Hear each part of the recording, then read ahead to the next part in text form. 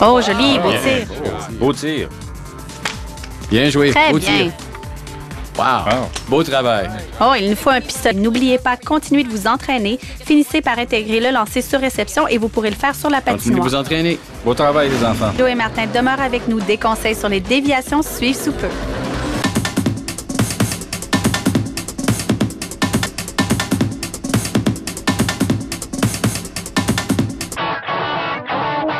Comment nous appliquons le ruban sur nos bâtons. Je sais que Martin, comme moi, préfère le ruban noir et nous préférons tous les deux commencer au talon de la palette pour finir au bout. Martin, veux-tu nous montrer comment tu appliques le ruban sur ton bâton? Oui, bien sûr. Je n'ai pas de raison particulière pour commencer au talon, mais euh, j'ai commencé à le faire quand j'étais jeune et depuis, j'ai conservé cette habitude. Euh, J'aime également poser une couche de ruban sous la palette jusqu'au bout pour ajouter une sorte de coussinet, voyez-vous? Je trouve que ça offre un peu de protection contre l'usure du ruban.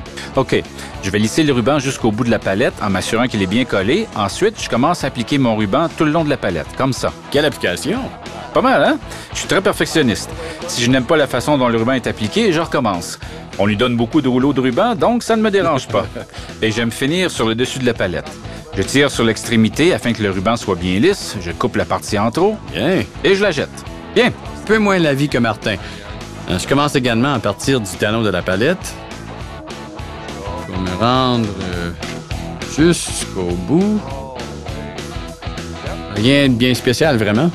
C'est parce que tu ne peux pas faire autrement, c'est ça? Ouais, et voilà, j'aime bien terminer ici. Voilà, on dirait que la palette est déjà bonne pour un ou deux buts, pas vrai, Martin? Ah, au moins deux. Voici l'un de mes jeux préférés, les quatre cibles. Procurez-vous quatre cibles dans un magasin ou dans un bac de recyclage, n'importe quoi peut faire l'affaire. On les place aux quatre coins comme on le fait au match des étoiles. Martin, euh, peux-tu... euh, Exact. Concours d'habileté. Penses-tu que tu peux me battre au tir à la cible? Je sais pas, je veux dire, j'en ai pas fait souvent, mais tu sais, le meilleur moyen de s'améliorer, c'est encore de s'entraîner, pas vrai? Parfait. Tu prends celle de droite? Beau tir, c'est bon. Suffit seul ou avec un ami. Exact. C'est évident que nous avons besoin de nous entraîner. Oui. Bien.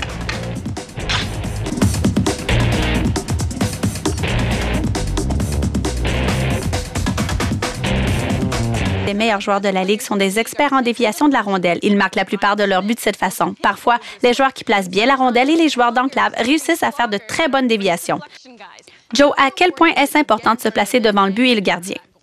C'est très important. Il est évident que tu veux que le gardien ne puisse pas bien voir la rondelle. Tu te places donc devant lui. Tes alliés font de même. Ces joueurs sont des membres très importants de ton équipe. Excellent conseil. Faire dévier la rondelle ou la balle, voilà l'une des techniques les plus difficiles du hockey et l'une des plus importantes à apprendre. Il s'agit d'une technique qui exige une excellente coordination main-œil et beaucoup d'entraînement. Passe vers ton coéquipier est-elle importante pour qu'il puisse faire dévier la rondelle dans le but? Je pense que le gardien se concentre sur les joueurs qui sont placés devant lui. Il lui arrive de perdre de vue certains joueurs. Si tu peux synchroniser ton placement devant le filet au moment où la rondelle ou la balle arrive en direction du but, tu vas avoir de nombreuses occasions de marquer. Ces excellents conseils et tous vos façons de faire dévier la rondelle.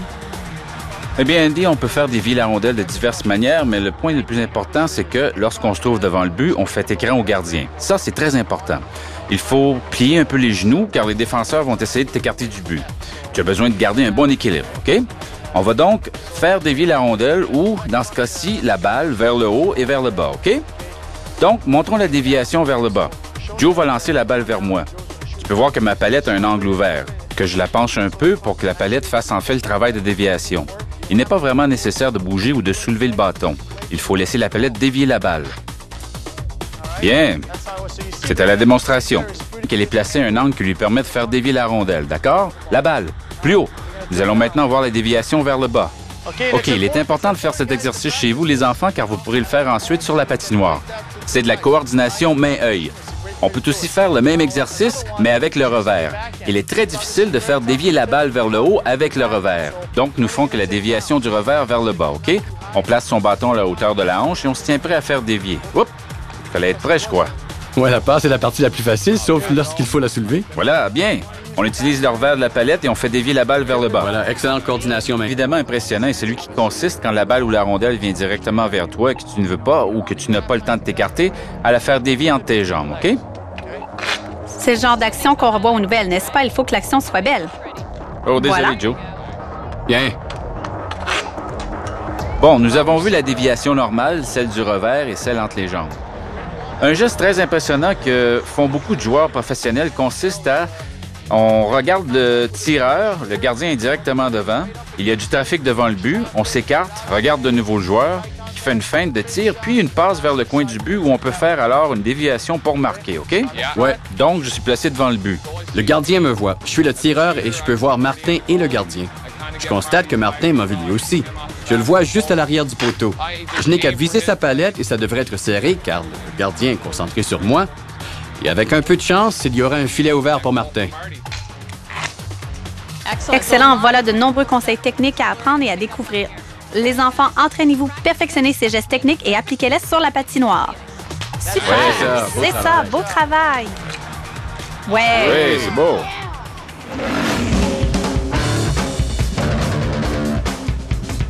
Dans quelle mesure est-il été un bon patineur ou as-tu eu besoin d'aide pour le devenir? J'étais bon patineur quand j'étais jeune, mais c'était pas parce que d'autres mondes m'ont aidé, c'est plus moi qui s'est aidé tout seul en allant patiner dehors ou euh, au patinage libre à l'aréna, euh, euh, journée après journée. euh, c'est ça qui m'a aidé. Quand j'étais plus jeune, je patinais plus, mais là, euh, je vieillis un petit peu. Euh, je dirais que je patine en moyenne euh, au moins une fois par semaine. Mais euh, quand on arrive à fin août, début septembre, je commence à patiner euh, trois, quatre fois par semaine.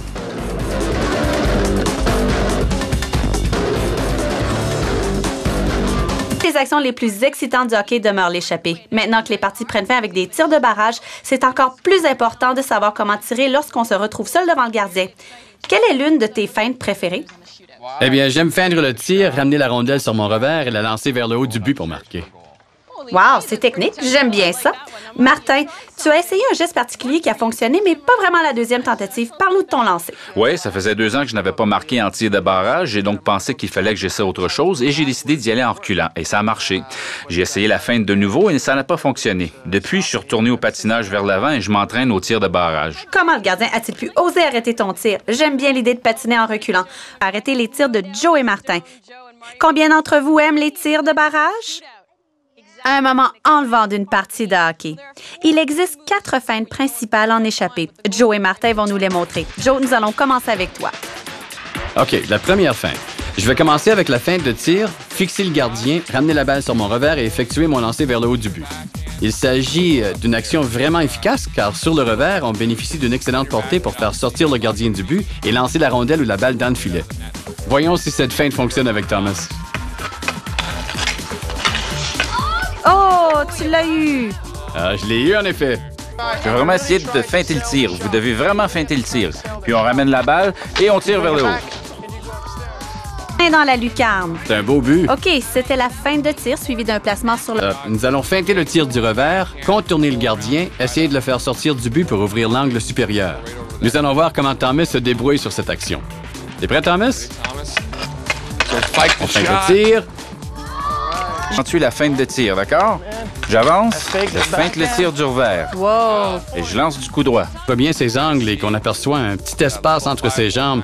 On est peut-être en mesure d'y glisser, d'y glisser la balle. On ne veut pas trop pousser la balle en avant de soi. On veut juste avoir une bonne position avec la balle ou la rondelle. Avancer et dès qu'il y a un espace, tirer avant que le gardien puisse se baisser.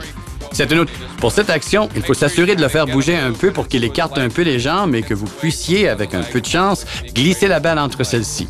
Nous allons donc voir si ça fonctionne. La clé consiste à lui faire ouvrir un peu les jambes. Oh, Oh, il a très bien bien joué le coup. Joe l'a dit, il faut avancer, il faut faire ouvrir un peu les jambes. Vous voyez, il m'a été difficile de tirer car il n'a pas ouvert ses jambes. Il faut donc, hein? All right. Oh, il arrête ton tir.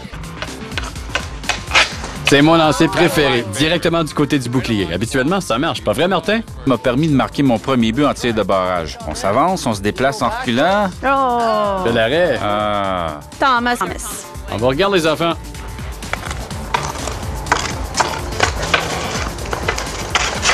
Oh, presque, presque. Oh! superbe arrêt.